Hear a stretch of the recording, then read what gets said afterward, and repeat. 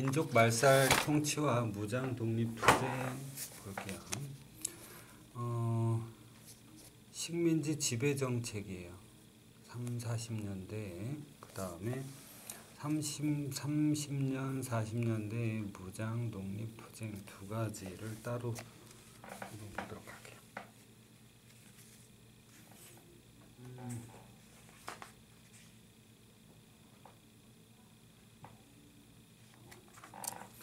자, 민족 말살 통치 볼게요.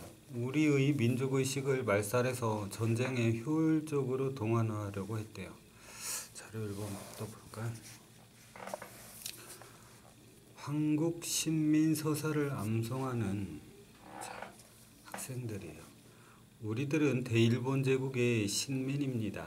우리들은 마음을 아파요 천황폐하에게 충의를 다합니다. 우리들은 인고 단련하여 훌륭하고 강한 국민이 되겠습니다. 이런 걸 외웠네.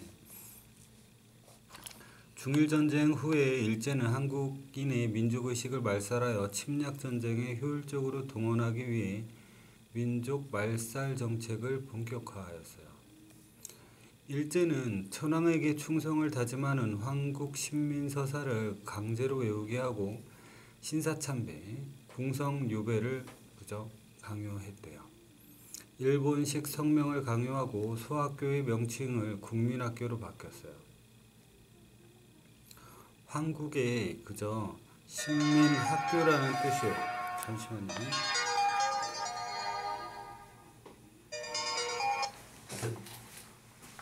여보세요. 예. 예. 안녕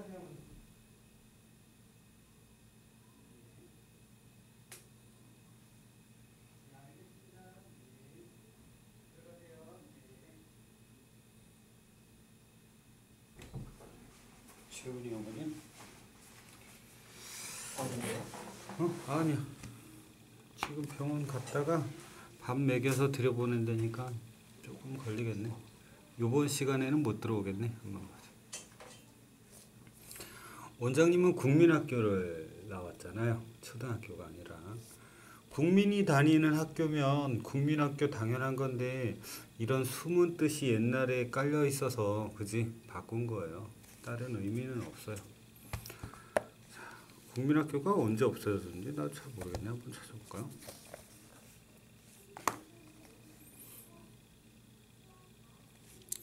구 국민학교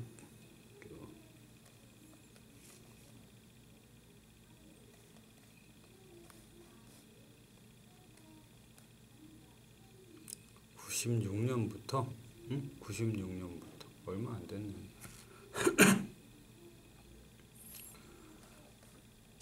구십육 년부터 구십육 년 써놔야지.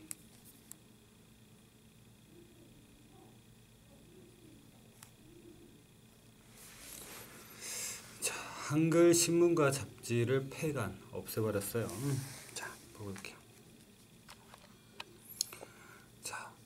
배경은 대공황이에요. 대공황. 1929년 미국에서 시작된 세계적인 경제 침체를 말해요. 세계 대공황으로 어려움에 빠진 일본은 전쟁을 통해 군수공업을 육성했어요. 군수공업을 육성하고요. 식민지 수탈을 하면서 어, 위기를 극복하려고 했어요. 대공황. 경제 침체예요. 실업이 늘고 계속 안 되는 거예요. 물가는 오르고 안 팔리는 거예요. 돈이 없으니까 실업이 느니까 또 돈이 없으니까 물건을 안 사겠지, 그지? 세계적으로 그런 게 있었어요. 어마어마한 거예요.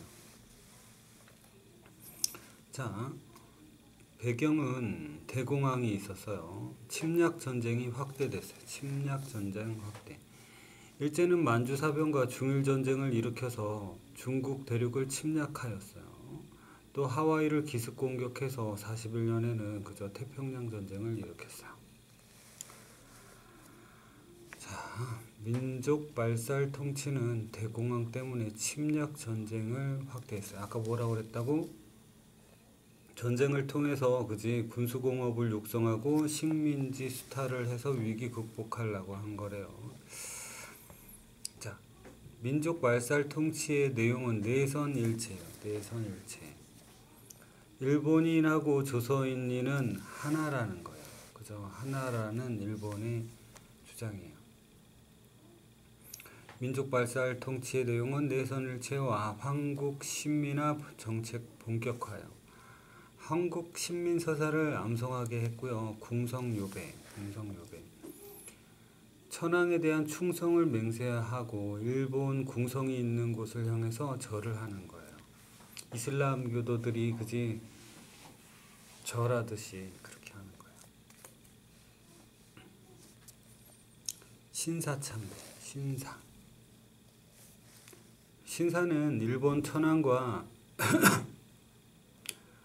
일본 천황의 천황의 조상과 공을 세운 사람들을 신처럼 받드는 사원이에요. 공을 세우는 사람들. 일제는 우리나라 곳곳에 신사를 세우고 참배할 것을 강요했대요. 이런 짓을 해가지고 중국하고 일본이 신사 참배 그러면 치를 떠는 거야. 뭐 지인의 나라에서 거기에다가 하든 말든 상관없잖아, 그지? 응? 그렇지만 좀 의미가 틀리죠. 다른 나라한테 피해를 입히고 그 나라가 당한 게 있는데 그거를 하면은 그지? 그 나라에서 열이 받, 받아 안 받아? 받겠지? 의미가 좀 틀리죠. 일본식 성명을 강요했어요. 일본식 성명을 사용하지 않으면 입학과 진학이 거부되었어요. 행정기관에 취업할 수가 없어요. 우리 역사 교육을 금지하고요. 관공서와 학교에서 우리말 사용을 금지했어요. 한글 신문, 잡지를 폐간했어요. 자, 민족 말살 통치 잘 보도록 하고 그 다음에 병창 기지화 정책 볼게요. 한국을 침략 전쟁에 필요한 물자를 공급하는 병참 기지라고 그래요. 그죠? 병참 기지로 이용했어요. 내용은 군수 산업을 육성했어요. 군대에 필요한 거 금속, 기계, 화학, 중화학 분야 중심이었어요. 그 다음에 지하 자원을 약탈했어요. 철과 석탄을. 결과 군수 산업 위주로 경제 구조가 변했, 변화했어요. 북부에는 군수 공장이 편중되어 있어요. 산업이 불균형하겠죠. 군수 공장만 있으면 먹고 사는 거랑 상관없으니까. 오늘날 그래서 북한에 이런 것들이 많이 있는 거야. 인적 물적 자원을 수탈했어요. 국가 총동원법을 제정했어요. 인, 인력하고 물자를 수탈하기 위해서 자 인력 수탈, 지원병제, 학도, 지원병제, 징병제를 실시했어요. 지원병제가 왜 두 개나 들어갔냐? 국민징용령을 발표했어요. 여자 근로 정신대를 조직하고요. 일본군 위안부에 동원했어요. 그죠? 물자 수탈, 식량 배급을 실시하고요. 미국을 공출했어요. 군량미를 마련하더라고. 금속을 공출했어요. 무기를 제작하느라고.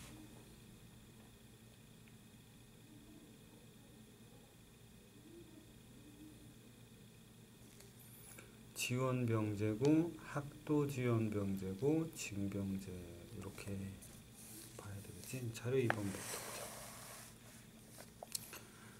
일제는 38년 국가총동원법을 제정해서 본격적으로 인력과 물자를 수탈했어요. 지원병제, 징병제 등으로 청년들을 전쟁터로 끌고 갔어요. 징용을 실시해서 한국인을 강제로 노동에 동원했어요. 또한 군량미를 마련하기 위해서 미국 곡식을 얘기하는 건 쌀미자예요. 공출하고 무기를 만들기 위해 농기구, 놋그릇, 숟가락, 학교의 종 이런 것까지 다 뺏어갔어요. 공출은 공적인 업무를 하기 위해서 뺏어가는 거를 얘기해요. 나라에서 잠깐 긴급할 때 있잖아. 그지? 쓰는 거예요. 근데 뭐 얘네가 무슨 우리나라냐? 뺏어간 거지, 저거. 음, 인적, 물적 자원 수탈. 그죠? 잠깐만.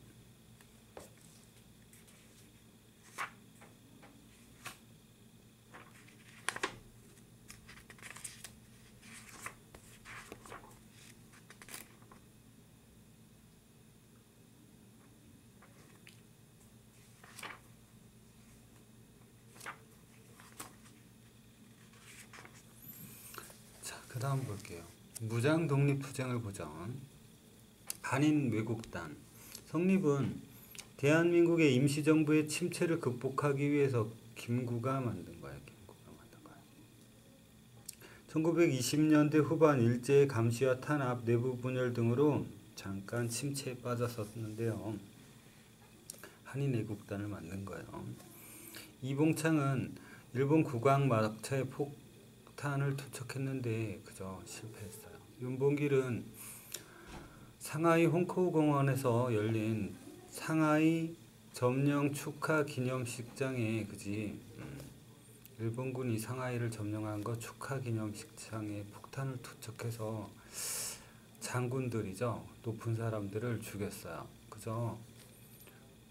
야, 이 얼마나 고마워. 중국 정부가 대한민국 임시 정부를 지원하죠. 자기네가 해야 할 일을 해줬잖아, 그지? 재훈이 오늘 병원 갔대. 자, 무장 독립 투쟁 전개 볼게요. 만주 지역 볼게요. 한국 독립군, 조선 혁명군, 만주 사변 이후 중국군과 연합 작전이 전개됩니다. 일본군의 계속된 공격으로 점차 중국 관내로 이동했대요. 일본군이 셌으니까 사회주의 기한. 일부 인사들이 중국 공산당하고 연합해서 항일 유격 활동을 전개했어요. 일본에 대항하는 그런 유격 활동이에요. 그죠? 중국 관내 만주 지역에서 한 거는 이렇게 중국 내에서 한 거는 뭐예요? 조선의용대에 조선의용군이 있어요. 김원봉이 조직했어요. 조선의용대는 중국의 국민당과 함께 항일 무장 투쟁을 했어요. 조선의용대는 조선의용군은 조선의용대의 일부가 화웨이 지방에서 조선 독립 동맹을 결성했어요. 이 이거의 일부가 이거를 만들었다라는 거야. 조선 독립 동맹을 결성했어요. 군사 조직으로 조선 의용군으로 바뀐 거죠. 그 다음에 중국 공산당하고 뭐예요? 연합해가지고 항일 투쟁을 합니다. 아까 의용대는 뭐예요? 중국 국민당이고, 그죠? 조선 의용군은 중국 공산당이에요. 요거 뭐 바꿔서 좀 응? 장난질 칠 수가 있겠네.